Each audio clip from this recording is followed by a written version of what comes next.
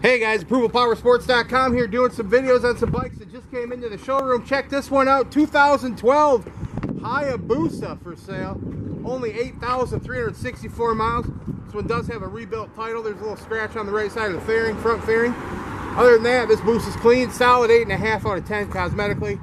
Mechanically, a 10 out of 10. This thing's ready to go, guys. Don't miss it.